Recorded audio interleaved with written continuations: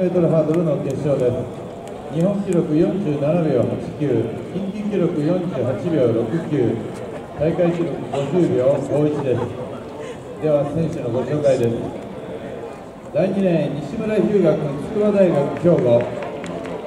第3レーン細田一成君関西学院大学兵庫。第4レーン梶木亮君住友電工兵庫。5レーンを開けます。第6レーン西康介君美容整形スポーツ大学和歌山。第7レーン吉田和明君ノビー大阪。第8レーン木本祐樹君天理大学兵庫。第9レーン連馬春吉君関西学院大学京都。以上の出場男子 400m ハードルの決勝です。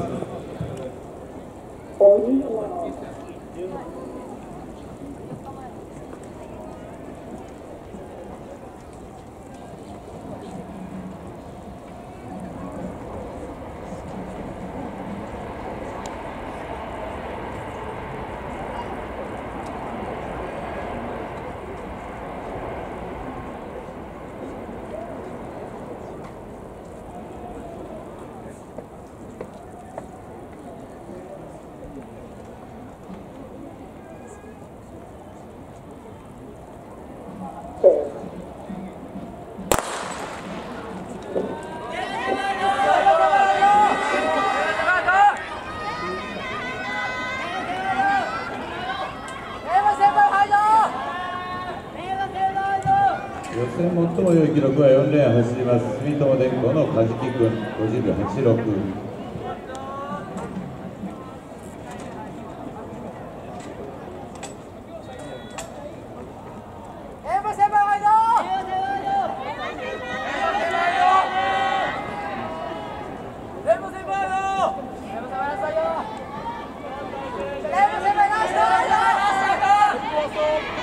4レーン、住友電工、梶木君。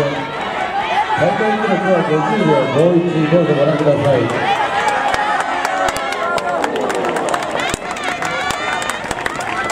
フリースタイマーは49秒83で止まりました。修正されまして9秒82。4レーンは住友電工兵庫の梶木君。